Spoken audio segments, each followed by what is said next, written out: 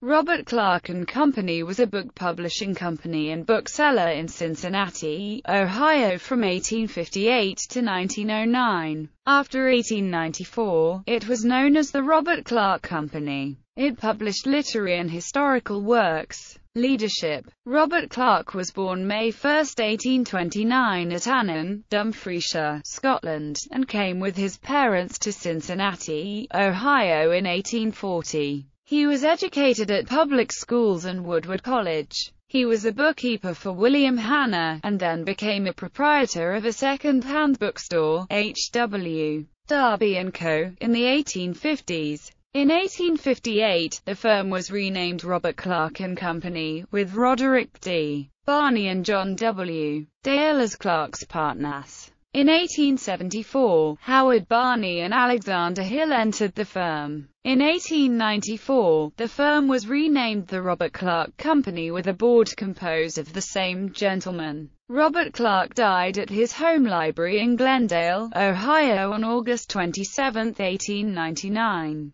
The firm lost its plant in a February 1903 fire, but rebuilt. The firm dissolved in a receiver's sale in 1909. Reputation The firm's reputation for access to comprehensive offerings is illustrated by the following testimonials. The Americana catalogs of Robert Clarke & Co., of Cincinnati, are the completest booksellers list of that kind which are published in America. Justin Winsor, 1884 Many of the books above mentioned are old and not easily obtainable at ordinary bookstores. For information concerning such books, or for obtaining them if desired, I would advise the reader to apply to the Robert Clarke Company, Cincinnati, Ohio, who keep by far the largest collection of books on America that can be found on sale in this country. John Fiske, 1907 Selected Publications. Clarke, Robert. Bibliotheca Americana, catalogue of a valuable collection of books and pamphlets relating to America.